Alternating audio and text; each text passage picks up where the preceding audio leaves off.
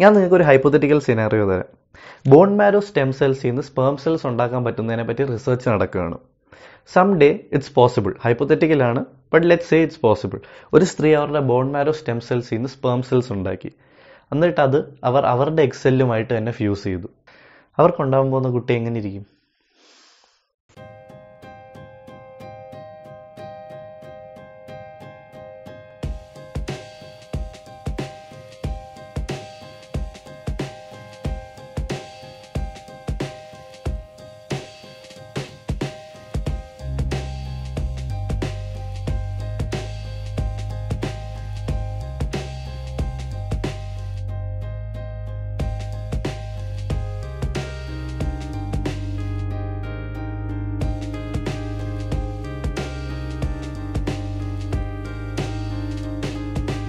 നേരത്തെ ചോദ്യത്തിനുള്ള ഉത്തരം അറിയണമെങ്കിൽ നമ്മൾ അത് ഹ്യൂമൻസ് എന്തൊരു ഓർഗാനിസംസ് ആണെന്ന് അറിയണം.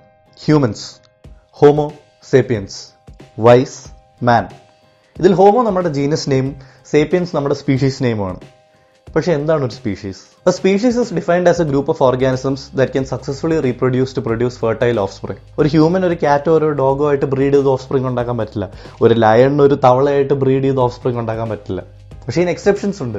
ഒരു ലയണിന് ഒരു ടൈഗറുമായി ബ്രീഡ് ചെയ്ത് ഓഫ് സ്പ്രിംഗ് ഉണ്ടാക്കാൻ പറ്റും. പക്ഷേ അവർക്ക് ഉണ്ടാകുന്ന ഓഫ് സ്പ്രിംഗ് ലൈഗർ സ്റ്റെറൈൽ അതായത് അവർ ഉണ്ടാക്കുന്ന ഫെർട്ടൈൽ ഓഫ് സ്പ്രിംഗ് അല്ല. അതുകൊണ്ട് രണ്ടും രണ്ട് സ്പീഷീസ് ആണ്. പക്ഷേ ഹ്യൂമൻസിനെ കംപ്ലീറ്റ്ലി ക്ലാസിഫൈ ചെയ്യണമെങ്കിൽ നമ്മൾ ഹ്യൂമൻസിന്റെ ടാക്സോണമി അറിയണം. Humans belong to the species sapiens of the genus homo of the family hominidae of the order primates of the class mammalia of the phylum കോഡാറ്റ and of the kingdom animalia അതായത് animal കിങ്ഡത്തിലെ വേർട്ടിബ്രേറ്റ്സിലെ മാമൽസിലെ പ്രൈമേറ്റ്സിലെ ഒരു ape like ക്രീച്ചറാണ് man and ഇതിൽ നിന്നും നമുക്ക് വളരെ ഈസിലി എത്താവുന്ന ഒരു ലോജിക്കൽ കൺക്ലൂഷനാണ് ഹ്യൂമൻസിന്റെ ക്ലോസസ്റ്റ് റിലേറ്റീവ്സ് ഏപ്സ് ആണെന്നുള്ളത്.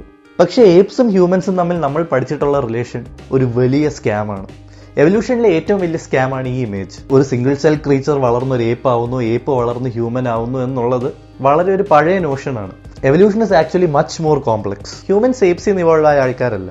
In fact to be precise ഹ്യൂമൻസിനും ഏപ്സിനും ഒരു കോമൺ ആൻസിസ്റ്റർ ഉണ്ട്. ഏകദേശം അറുപത് ലക്ഷം വർഷങ്ങൾക്ക് മുമ്പ് ഒരു ഏപ്പ് ലൈക്ക് ക്രീച്ചറിന് രണ്ട് മക്കളുണ്ടായി. അതിൽ ഒരു മകളാണ് എല്ലാ ഏപ്സിന്റെയും മദർ മറ്റേ മകളാണ് നമ്മൾ എല്ലാ ഹ്യൂമൻസിന്റെയും mother Yuval Noah ഹെറാറിയുടെ Sapiens is a great book on human evolution നിങ്ങളിൽ പലരും ഇത് വായിച്ചിട്ടുണ്ടോ? ഇറ്റ്സ് റിയലി പോപ്പുലർ പക്ഷേ if you haven't this is what you should be reading നമ്മുടെയും ഏപ്സിന്റെയും കോമൺ ആൻസിസ്റ്ററിനെ കണ്ടുപിടിക്കണമെങ്കിൽ നമുക്ക് പാസ്റ്റിലോട്ട് അത്ര ബാക്കിലോട്ട് പോകേണ്ട ആവശ്യം പോലും ഇല്ല.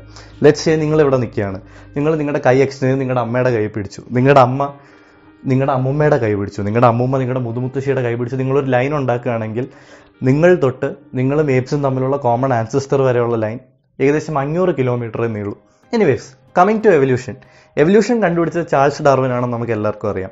ചാൾസ് ഡാർവിൻ ആയിരത്തി എണ്ണൂറ്റി ഒമ്പതിലാണ് ജനിച്ചത്. അദ്ദേഹം പഠിച്ചത് കേംബ്രിഡ്ജിലാണ് ഇരുപത്തിരണ്ട് വയസ്സുള്ളപ്പോൾ Charles Darwin H M S Beagle എന്ന ഷിപ്പിൽ അഞ്ച് വർഷം സഞ്ചരിച്ചു. ഈ സമയത്താണ് അദ്ദേഹം ചാൾസ് ലയൽ എന്ന ജിയോളജിസ്റ്റിന്റെ വർക്ക്സ് വായിക്കാൻ ഇടയായത്. ചാൾസ് ലയലിന്റെ പല തിയറീസിൽ ഒന്നായിരുന്നു ലാവ എങ്ങനെ റോക്ക് ആവുന്നു? റോക്ക് എങ്ങനെ മണ്ണാവുന്നു? എന്നുള്ളത്. ആൻഡ് ചാൾസ് ഡാർവിൻ തോട്ട് ഈ സെയിം സാധനം എന്താ ആനിമൽസിന് ആപ്ലിക്കബിൾ അല്ലാത്തത്? ഇതേ സമയം തന്നെ ചാൾസ് ഡാർവിൻ കുറെ ഫോസിൽസ് ഒബ്സർവ് ചെയ്തായിരുന്നു. എന്നിട്ട് അദ്ദേഹം ചിന്തിച്ചു ഈ ഫോസിൽസിനൊക്കെ ഇപ്പോഴത്തുള്ള ആനിമൽസായിട്ട് എന്തെങ്കിലും കണക്ഷൻ ഉണ്ടോ? അത് ഈ ഫോസിൽസൊക്കെ ഗോഡിന്റെ റാൻഡം ക്രിയേഷൻസ് ആണോ? ആൻഡ് ഈ സമയത്ത് അദ്ദേഹം പല ആനിമൽസിനെയും ബേർഡ്സിനെയും ഒബ്സർവ് ചെയ്തിരുന്നു. പല സ്പീഷീസ് ഓഫ് റിയ ബേർഡിനെ ഒബ്സർവ് ചെയ്തിരുന്നു. പല സ്പീഷീസ് ഓഫ് ഫിഞ്ചസിനെ ഒബ്സർവ് ചെയ്തു. എന്നിട്ട് അദ്ദേഹം ചിന്തിച്ചു ഈ സ്പീഷീസിനൊക്കെ ദൈവം ഉണ്ടാക്കാൻ എന്തെങ്കിലും കാരണമുണ്ടോ എന്തിനാണ് multiple species of rhea bird എന്തിനാണ് multiple species of finches and finally വോയജിൻ തിരിച്ചെത്തിയതിന് ശേഷം അദ്ദേഹം ആർട്ടിഫിഷ്യലി പല സ്പീഷീസ് ഓഫ് പീജിയൻസിനെ സെലക്റ്റീവ്ലി ബ്രീഡ് ചെയ്യാൻ തുടങ്ങി. ആൻഡ് ആയിരത്തി തൊള്ളായിരത്തി എൺപത്തി ഒമ്പതിൽ അദ്ദേഹത്തിന്റെ ഏറ്റവും famous വർക്കായ on the origin of species by means of natural selection അദ്ദേഹം റിലീസ് ചെയ്തു. On the origin of species by means of natural selection പക്ഷെ എന്താണ് natural selection natural selection is the selection of traits that may help increase a species survival and its ability to reproduce ഇതിന്റെ simplest example ആണ് white and black peppered moths യൂറോപ്പിൽ ഇൻഡസ്ട്രിയലൈസേഷന് മുമ്പ് രണ്ട് തരം moths ആയിരുന്നു പോപ്പുലർ വൈറ്റ് പെപ്പേർഡ് മോത്തും black peppered മോത്തും ഇതിൽ വൈറ്റ് പെപ്പേർഡ് മോത്ത് ആയിരുന്നു eighty percent of the population black peppered moth ആയിരുന്നു twenty percent of the population പക്ഷേ ഇൻഡസ്ട്രിയലൈസേഷന് ശേഷം ഫാക്ടറീസിൽ നിന്ന് ഒരുപാട് പുക വരാൻ തുടങ്ങി. ഈ പുക ട്രീസിന്റെ ട്രങ്കിന്റെ കളർ മാറ്റാൻ തുടങ്ങി. അതായത് മോത്ത്സ് ഇരിക്കുന്ന ട്രീസ് പണ്ട് ബ്രൗൺ കളറായിരുന്നെങ്കിൽ ഇപ്പോൾ ഇപ്പം അത് ബ്ലാക്ക് കളറായി അതായത് ബ്ലാക്ക് മോത്ത്സിന് കുറച്ചുകൂടെ ക്യാമഫ്ലാജ് ചെയ്യാൻ പറ്റും. വൈറ്റ് മോത്ത്സിന് ക്യാമഫ്ലാജ് ചെയ്യാൻ കുറച്ചുകൂടെ പാടാവും. അതായത് വൈറ്റ് മോത്ത്സിനെ പ്രൊഡക്റ്റേഴ്സ് ഈസിലി ഹണ്ട് ചെയ്യും. അതുകൊണ്ട് വൈറ്റ് മോത്ത്സ് മരിക്കാൻ തുടങ്ങി. ബ്ലാക്ക് മോത്ത്സ് സർവൈവ് ചെയ്യാൻ തുടങ്ങി. അത് അതിന്റെ ജീൻ പാസ് ചെയ്യാൻ തുടങ്ങി.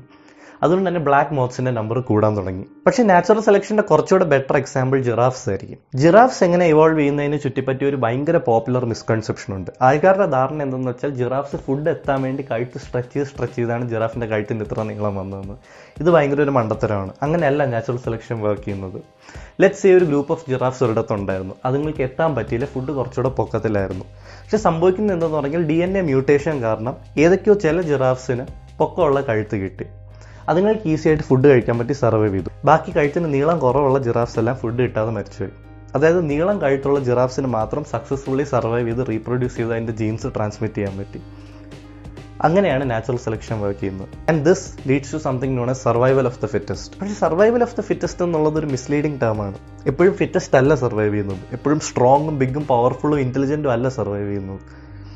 Let's say same group of giraffes ഒരു ലാർജ് ഗ്രൂപ്പ് ഓഫ് ജിറാഫ്സ് ഒരു ഐലൻഡിൽ സ്ട്രാൻഡഡ് ആ ഐലൻഡിൽ ടോൾ ഹൈറ്റ്സിലല്ല ഫുഡ് ഉള്ളത്. അവിടെ ഗ്രാസ് ആണുള്ളത്. അല്ലെങ്കിൽ ഷ്രബ്സ് ആണുള്ളത് ലെറ്റ്സ് ഈ ഹൈറ്റിലുള്ള ഷ്രബ്സ് ആണുള്ളത്. അപ്പോൾ അവിടെ നീളം കഴുത്തുള്ള ജിറാഫ്സിന് ഫുഡ് കഴിക്കാൻ പാടായിരിക്കും. ഷോർട്ടർ കഴുത്തുള്ള ജിറാഫ്സ് ആയിരിക്കും സർവൈവ് ചെയ്യുന്നത്. അതായത് നീളം കഴുത്തുള്ള ജിറാഫ്സ് മരിച്ചും ഷോർട്ടർ കഴുത്തുള്ള ജിറാഫ്സ് അതിന്റെ ജീൻസ് ട്രാൻസ്മിറ്റ് ചെയ്യും. അതായത് ജിറാഫ്സിന്റെ കഴുത്തിന്റെ ലെങ്ത് കുറയുന്ന രീതിയിൽ ഇവോൾവ് ചെയ്യും. അപ്പോൾ അത് ഫിറ്റസ്റ്റ് അല്ല നെസസറിലി ലെസ് ഹൈറ്റ് ഉള്ള സാധനങ്ങളാണ് സർവൈവ് ചെയ്തത്. ലെസ് സ്ട്രോങ് ലെസ് പവർഫുൾ ആണ് സർവൈവ് ചെയ്തത്. അതുകൊണ്ട് തന്നെ സർവൈവൽ ഓഫ് ദി ഫിറ്റസ്റ്റ് ഒരു അഡിക്വേറ്റ് ടേം അല്ല. പക്ഷേ survival of the fittest is one of the reasons why homo sapiens is the only species of humans left in the world ഏകദേശം അമ്പതിനായിരം വർഷം നിങ്ങൾ പിന്നോട്ട് പോവുകയാണെങ്കിൽ ഹോമോസേപ്പിയൻസ് അല്ലാതെ minimum five other human species എങ്കിലും ഉണ്ടായിരുന്നു. വി ആഡ് ഹോമോ നിയാൻഡർതാൽസ് അവർ നമ്മളെക്കാട്ടിലും വലുതായിരുന്നു. അവർക്ക് നമ്മളെക്കാട്ടിലും ബിഗർ ബ്രെയിൻസും ഉണ്ടായിരുന്നു. ഹോമോ ഇറക്ടസ് ഉണ്ടായിരുന്നു. അവർ രണ്ട് മില്യൺ വർഷം ഭൂമിയിൽ നിന്നവരാണ്. മോസ്റ്റ് ഡ്യൂറബിൾ ഹ്യൂമൻ സ്പീഷീസ് ആണ്. ഹോമോ റുഡോൾഫിയൻസസ് ഉണ്ടായിരുന്നു. ആൻഡ് ഹോമോ ഫ്ലോറസിയൻസസ് ഉണ്ടായിരുന്നു. ഹോമോ ഫ്ലോറസിയൻസസ് ഇന്തോനേഷ്യൻ ഐലൻഡ്സിൽ മാത്രം കാണപ്പെട്ടു വരുന്ന ഒരു ഹ്യൂമൻ സ്പീഷീസ് ആയിരുന്നു. അവരുടെ പ്രത്യേകത എന്ന് വെച്ചാൽ അവരുടെ maximum height one metre maximum weight twenty five K ജീസും ആയിരുന്നു. ഹോമോ ഫ്ലോറസിയൻസസ് ഇവോൾവ് ചെയ്താണ് ഒരു വളരെ മികച്ച എക്സാമ്പിൾ ഓഫ് നാച്ചുറൽ സെലക്ഷൻ അവരുടെ എവല്യൂഷന്റെ പിന്നിലുള്ള തിയറി എന്തെന്ന് വെച്ചാൽ ഒരു ലാർജ് ഗ്രൂപ്പ് ഓഫ് ഹ്യൂമൻസ് ഒരു ഐലൻഡിൽ ട്രാപ്ഡ് പോയി പക്ഷേ ഐലൻഡിൽ റിസോഴ്സസ് ഭയങ്കര കുറവായിരുന്നു. ഫുഡ് വളരെ കുറവായിരുന്നു. അതുകൊണ്ട് തന്നെ വലിയ മനുഷ്യർ ആദ്യമേ മരിച്ചു പോകാൻ തുടങ്ങി. ചെറിയ ആൾക്കാർ ഫ്യൂർ റിസോഴ്സസ് വേണ്ട ആൾക്കാർ സക്സസ്ഫുള്ളി ജീവിക്കുകയും റീപ്രൊഡ്യൂസ് ചെയ്യുകയും അവരുടെ ജീൻസ് ട്രാൻസ്മിറ്റ് ചെയ്യാനും തുടങ്ങി. അതുകൊണ്ട് തന്നെ ഓവർ ദ ഇയേഴ്സ് ആൾക്കാരുടെ ഹൈറ്റ് വളരെ കുറവായിരുന്നു അവൾ വളരെ ചെറുതായിരുന്നു. പക്ഷേ ഏകദേശം പതിമൂവായിരം വർഷങ്ങൾക്ക് മുമ്പ് ഹോമോ ഫ്ലോറസിയൻസസും എക്സ്റ്റിങ്റ്റ് ആയി. And homo sapiens become the last surviving human species on the earth ഇതിന്റെ പിന്നിൽ പല തിയറീസ് ഉണ്ട്. മെജോറിറ്റി തിയറീസ് പറയുന്നത് ഹോമോസേപ്പിയൻസ് ഒട്ടും ടോളറബിൾ സ്പീഷീസ് അല്ലെന്നും അവർ ബാക്കി സ്പീഷീസിനെ കൊന്നുവെന്നും അവരുടെ റിസോഴ്സസ് കൺസ്യൂം ചെയ്തുവെന്നും അവരെ എക്സ്റ്റിങ്ഷനിലേക്ക് ഡ്രൈവ് ഔട്ട് ചെയ്തു എന്നതാണ് പക്ഷേ ഇതൊന്നും കൺഫേമബിൾ തിയറീസ് അല്ല. ഹോമോസേപ്പിയൻസിനെ പറ്റി പറയുകയാണെങ്കിൽ അവർ റെവല്യൂഷണറി സക്സസ് ആണ്. പ്യുവർ നമ്പേഴ്സിന്റെ ബേസിസ് നോക്കുകയാണെങ്കിൽ ഈ ഭൂമിയിൽ എഴുന്നൂറ് കോടിയിലധികം ഹ്യൂമൻസ് ഉണ്ട്. പക്ഷേ അങ്ങനെയാണെങ്കിൽ ഹ്യൂമൻസിനെക്കാട്ടിലും വലിയ സക്സസ് റൈസും വീറ്റും ഒക്കെയാണ്. ഏതൊരു സ്പീഷീസിന്റെയും ഉദ്ദേശം എന്താണ്? റീപ്രൊഡ്യൂസ് ചെയ്യുക എന്നുള്ളതാണ്. അങ്ങനെ ആലോചിക്കുകയാണെങ്കിൽ ഈ ഭൂമിയിൽ ഒരുപാട് ഒരുപാട് സ്ഥലം നമ്മൾ റൈസിനും വീറ്റിനും ആയിട്ട് ഉപയോഗിക്കുന്നു. നമ്മൾ റൈസിനെയും വീറ്റിനെയും ഡൊമസ്റ്റിക്കേറ്റ് ചെയ്തു എന്ന് നമ്മൾ വിചാരിക്കുന്നു. പക്ഷേ ആക്ച്വലി റൈസും വീറ്റും ഡൊമസ്റ്റിക്കേറ്റ് ചെയ്തത് നമ്മളല്ലേ. അവരവരുടെ എവല്യൂഷണറി എയിം അച്ചീവ് ചെയ്തില്ലേ? അവരവരുടെ റീപ്രൊഡക്റ്റീവ് സക്സസ് അച്ചീവ് ചെയ്തില്ലേ? അവരല്ലേ എവല്യൂഷണറി സക്സസ്? പ്യുവർ നമ്പേഴ്സിന്റെ ബേസിസിൽ നോക്കുകയാണെങ്കിൽ ഹ്യൂമൻസിനെയും വീറ്റിനെയും റൈസിനെയും പോലെ തന്നെ സക്സസ്ഫുൾ സ്പീഷീസാണ് ഹെൻസും കൗസും. ഏകദേശം രണ്ടായിരത്തി അഞ്ഞൂറ് കോടി ഹെൻസ് ഉണ്ട് ഈ ഭൂമിയിൽ നൂറ് കോടി പശുക്കളുണ്ട് ഈ ഭൂമിയിൽ പക്ഷെ അവരൊക്കെ എവല്യൂഷണറി സക്സസ് ആണോ? ഒരു പശുവിന്റെയും കോഴിയുടെയും ലൈഫ് അത്രയ്ക്ക് മിസറബിൾ ആണ്. യു എസ് എയിലെ സെവന്റി പെർസെന്റ് ക്യാച്ചിലും ഫാക്ടറി ബ്രെഡ് ആണ്. ഒരു കാഫിനെ ജനിക്കുന്ന ഉടനെ ഒരു കൂട്ടിൽ പിടിച്ചിടുന്നു. ആ കൂട്ടിൽ അതിന് അനങ്ങാനോ തിരിയാനോ ഉള്ള സ്ഥലം പോലും ഇല്ല. അതിന് ഭക്ഷണവും വെള്ളം കൊടുക്കാനുള്ള ഒരു ഓട്ട മാത്രമുണ്ട്. ആ കാഫിന് അനങ്ങാനോ നീങ്ങാനോ സമ്മതിക്കാത്ത എന്തെന്ന് വെച്ചാൽ first of all space constraint ഉണ്ട്. ആൻഡ് സെക്കൻഡ് ഓഫ് ഓൾ അത് അനങ്ങാതെ ഇങ്ങനെ നിന്നാൽ അതിന്റെ മസിൽസ് സോഫ്റ്റർ ആവും. നമ്മൾ കഴിക്കുന്ന ബീഫ് സോഫ്റ്റർ ആവും. അത് ആദ്യമായി അനങ്ങി മുന്നോട്ട് ചുവട് വയ്ക്കുന്നത് സ്ലോട്ടർ ഹൗസിലേക്കാണ് അതിനെ കൊല്ലാൻ വേണ്ടിയാണ്. അതായത് പശുക്കളുടെ വളരെ മിസറബിൾ ആയ ഒരു എക്സിസ്റ്റൻസ് ആണ്. കോഴികളുടെ ഒരു വളരെ മിസറബിൾ ആയ എക്സിസ്റ്റൻസ് ആണ്. അപ്പോൾ അവർ എവല്യൂഷണറി സക്സസ് ആണോ. ഇൻഫാക്ട് ഞാൻ ഒരിടത്ത് വായിച്ചൊരു ഫേമസ് ലൈൻ എനിക്ക് ഓർമ്മ വരുന്നു. Humans are afraid of aliens because they think aliens will treat them the same way they treat animals ഞാൻ ഈ പറഞ്ഞൊക്കെ നിങ്ങൾ കേട്ടിരുന്നിട്ടുണ്ടെങ്കിൽ നിങ്ങൾക്ക് സ്വാഭാവികമായിട്ടും ഒരു ഡൗട്ട് വന്നിട്ടുണ്ടാവുക. ഇവൻ ഈ പറയുന്നതൊക്കെ ശരിയാണോ? എവല്യൂഷൻ റിയൽ ആണോ? അതിനെന്തെങ്കിലും പ്രൂഫ് ഉണ്ടോ? ഇഷ്ടംപോലെ പ്രൂഫുണ്ട് നിങ്ങൾ ഈ കാണുന്ന നിങ്ങളുടെ ബാക്കിൽ തെളിയാൻ നിങ്ങൾക്ക് നിങ്ങളുടെ ടെയിൽ ബോൺ കാണാൻ സാധിക്കും. അത് നിങ്ങളുടെ ആൻസിസ്റ്റേഴ്സിന് പണ്ടുണ്ടായിരുന്നതും ഇപ്പോൾ ആവശ്യമില്ലാത്തതുമായ ടെയിലിന്റെ റെമനന്റ് ആണ്. നിങ്ങളുടെ ചെവിയിൽ മൂന്ന് സെപ്പറേറ്റ് മസിൽസ് ഉണ്ട്. പണ്ട് നിങ്ങളുടെ ആൻസിസ്റ്റേഴ്സിന് ചെവി മൂവ് ചെയ്യാൻ പറ്റുമായിരുന്നു ഇൻഡിപെൻഡന്റ്ലി ആ മസിൽസ് നമുക്ക് ഇപ്പോഴും ഉണ്ട് പക്ഷെ അതിനൊരു പേർപ്പസും ഇല്ല. നമ്മൾ ഇങ്ങനെ കാണിച്ചാൽ നമുക്ക് ഇവിടെ ഒരു ടെൻഡൻ പ്രൊജക്ട് ചെയ്ത് നിൽക്കുന്ന കാണാൻ സാധിക്കും. Eighty to eighty five percent of ഹ്യൂമൻസിനും ഇതുണ്ട്. ഈ ടെൻഡൻ പൾമാരസ് ലോങ്സ് എന്ന് പറഞ്ഞൊരു മസിലിനോട് കണക്ട് ചെയ്യുന്ന ടെൻഡനാണ് this tendon is so useless that ഏതെങ്കിലും ജോ റീകൺസ്ട്രക്റ്റീവ് സർജറിയോ മറ്റോ ഉണ്ടെങ്കിൽ ഈ ടെൻഡനാണ് ആദ്യം മുറിച്ച് മാറ്റി ഉപയോഗിക്കുന്നത്. എന്നിട്ട് ഞാൻ വേണമെങ്കിൽ കുറച്ചുകൂടെ സോളിഡ് എക്സാമ്പിൾസ് തരാം. നമുക്ക് ക്രോമസോംസിലേക്ക് പോകാം ക്രോമസോംസ് എന്ന് പറയുന്നത് chunks of D N A ആണ്. ഹ്യൂമൻസിന് twenty three pairs of chromosome ഉണ്ട്. ഏപ്സിന് twenty four pairs of chromosomes ഉണ്ട്.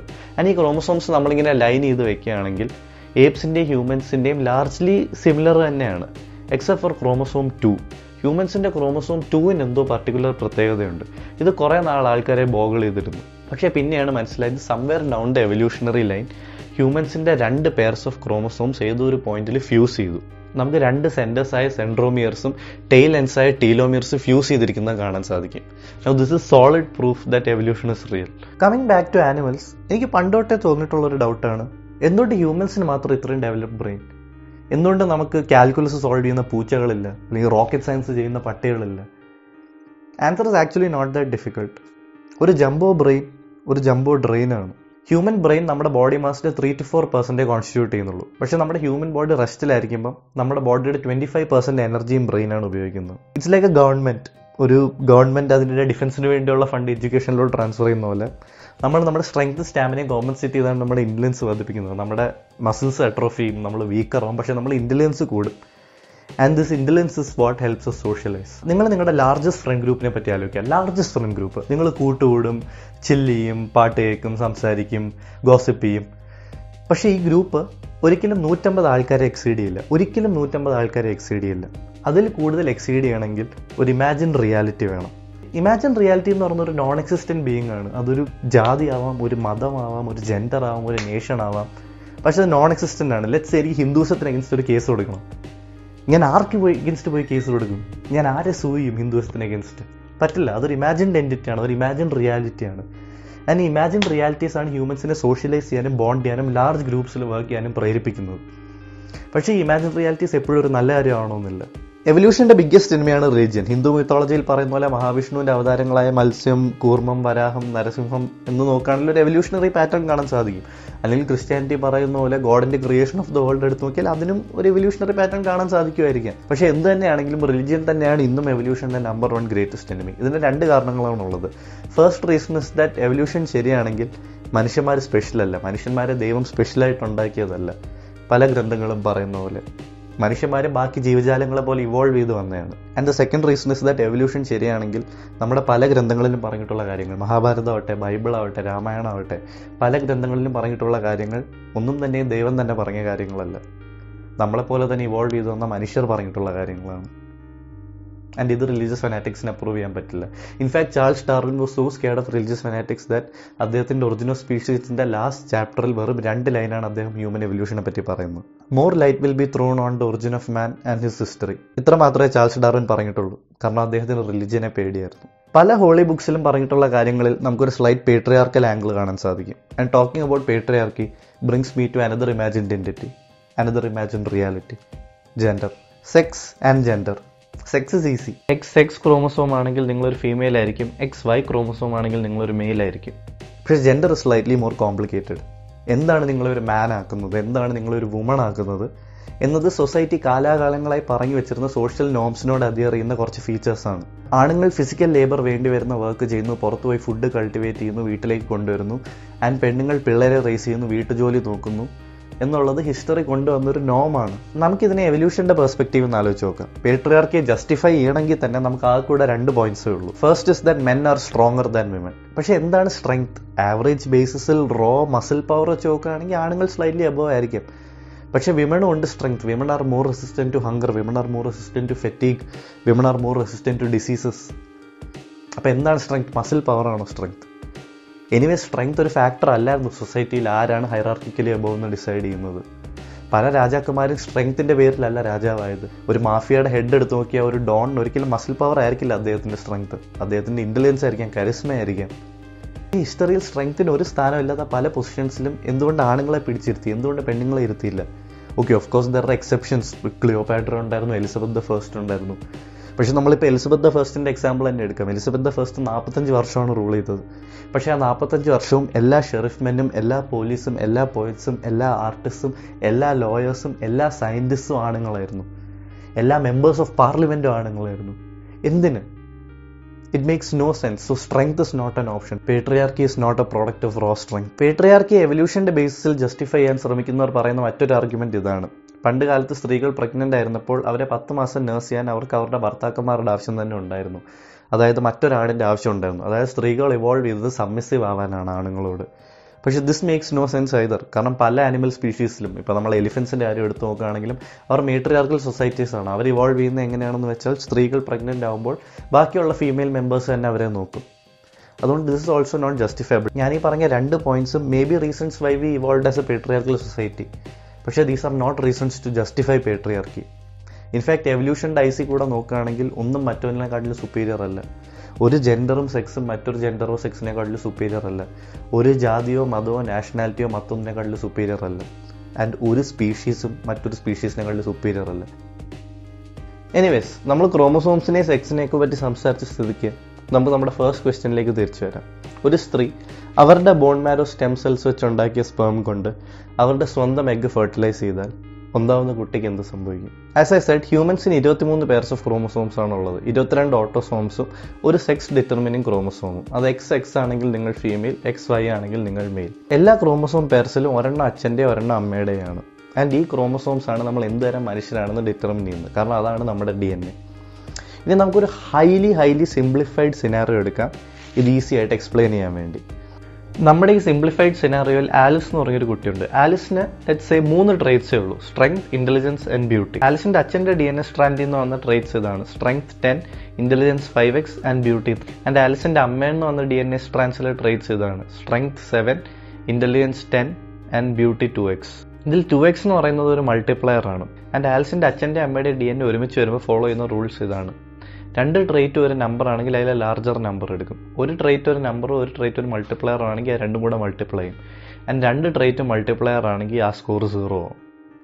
ഈ റൂൾസ് അനുസരിച്ച് ആലിസിന്റെ ട്രേറ്റ്സ് ഇതാണ്. And as we can see Alice ഒരു ഹെൽത്തി കുട്ടിയാണ്. ആലിസിന് ഒരു കുഴപ്പമില്ല. കാരണം ആലിസിന്റെ അച്ഛനും അമ്മയും സെപ്പറേറ്റ് ആണ്. ഇനി നമുക്ക് അസ്യൂം ചെയ്യാം ആലിസ് ആലിസിന്റെ ബോൺ മാരോ സ്റ്റെം സെൽസിൽ ഒരു സ്പേം ഉണ്ടാക്കി ആലിസിന്റെ എഗ് ഇട്ട് തന്നെ ഫെർട്ടിലൈസ് ചെയ്തു. ആലിസിന്റെ എഗ്ഗിൽ ഉണ്ടായിരിക്കുന്ന ഡി എൻ എ ആലിസിന്റെ അച്ഛന്റെ അമ്മയുടെ ഡി എൻ എയുടെ റാൻഡം മിക്സ് ആയിരിക്കും. അത് നേരത്തെ പറഞ്ഞ റൂൾസ് ഫോളോ ഇല്ല അത് ജസ്റ്റ് ഒരു റാൻഡം മിക്സ് ആയിരിക്കും. ഇത് തന്നെയാണ് ആലിസിന്റെ സ്പേമിൽ സംഭവിക്കുന്നത്. No as we can see ആലിസിന്റെ എഗ്ഗിലായാലും സ്പേമിലായാലും സ്ട്രെങ്ത്തിനും ബ്യൂട്ടിക്കും പ്രശ്നമില്ല. പക്ഷേ ഇന്റലിജൻസ് എഗ് സൈഡിലും സ്പേം സൈഡിലും രണ്ടിലും ഒരു മൾട്ടിപ്ലയർ ആണ്. ആൻഡ് നേരത്തെ റൂൾ അനുസരിച്ച് രണ്ട് സൈഡിൽ മൾട്ടിപ്ലയർ വന്നാൽ റിസൾട്ടന്റ് സീറോ ആയിരിക്കും. അതായത് ആലിസിന് ഉണ്ടാകാൻ പോകുന്ന കുട്ടിയുടെ ഇന്റലിജൻസ് സീറോ ആയിരിക്കും. അതായത് ആലിസിന് ഉണ്ടാവുന്ന കുട്ടി will be very similar to Alice but with very severe genetic disorders. And this brings us to the inbreeding coefficient. Inbreeding coefficient is used to quantify the percentage of someone's chromosomes that are likely to be identical.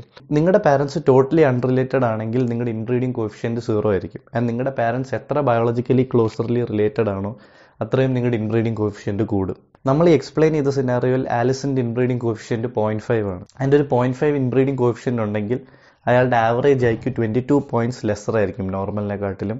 And average height നാല് inch കുറവായിരിക്കും നോർമലിനെക്കാട്ടിലും by the age of ten പല royal ഫാമിലീസിലും inbreeding വളരെ popular ആയിരുന്നു. അവരുടെ blood line പ്യൂറായി വയ്ക്കാൻ. This was particularly common in the European house of Habsburg അവിടെ റോയൽ ഫാമിലിയിലെ കസിൻസ് കോൺസ്റ്റന്റ്ലി മാരി ചെയ്തുകൊണ്ടിരിക്കുമായിരുന്നു ബ്ലഡ് ലൈൻ പ്യൂറായി വയ്ക്കാൻ. And it ended up with the birth of king Charles two of Spain Charles ടുവിന്റെ inbreeding coefficient point two five four ആയിരുന്നു which was particularly high അതുകൊണ്ട് തന്നെ അദ്ദേഹത്തിന് സിവിയർ ഫിസിക്കലും മെന്റലും ഇമോഷണൽ ഡിസബിലിറ്റീസും ഉണ്ടായിരുന്നു. And അദ്ദേഹത്തിന് കുട്ടികളെ ഉണ്ടാക്കാൻ സാധിച്ചില്ല. അതോടെ ആ ബ്ലഡ് ലൈൻ അവിടെ അവസാനിച്ചു. പക്ഷേ ഇൻബ്രീഡിങ് ഇക്കാലത്തും അത്ര റെയർ ഒന്നുമല്ല. ഈ ഇരുപത്തൊന്നാം നൂറ്റാണ്ടിലും പല മതങ്ങൾ ഇൻബ്രീഡിങ്ങിനെ പ്രൊമോട്ട് ചെയ്യുന്നത് നമുക്ക് കാണാൻ സാധിക്കും. ഹിന്ദുസം ആവട്ടെ ഇസ്ലാം ആവട്ടെ മറ്റേത് മതമാവട്ടെ അവർ കസിൻസ് തമ്മിൽ മാരി ചെയ്യുന്ന പ്രൊമോട്ട് ചെയ്യുന്നു. അങ്കിൾസിനെ മാരി ചെയ്യുന്ന പ്രൊമോട്ട് ചെയ്യുന്നു. അപ്പോൾ ഈ മതങ്ങളൊക്കെ അറിഞ്ഞോ അറിയാതോ എന്തിനാണ് പ്രൊമോട്ട് ചെയ്യുന്നത്? ഇൻബ്രീഡിങ്ങിനല്ലേ ആൻഡ് മതം എന്താണ്? ഒരു ഇമാജിൻ റിയാലിറ്റിയാണ് നേരത്തെ ഞാൻ കിങ് ചാൾസിന്റെ കഥ പറഞ്ഞല്ലോ. അവിടെ എന്താണ് ഇൻബ്രീഡിങ്ങിനെ പ്രൊമോട്ട് ചെയ്തത്? റോയൽറ്റിയാണ് റോയൽറ്റി എന്താണ്? ഒരു ഇമാജിൻ റിയാലിറ്റിയാണ് And what did I say about imagine realities? They're not always good thanks for watching.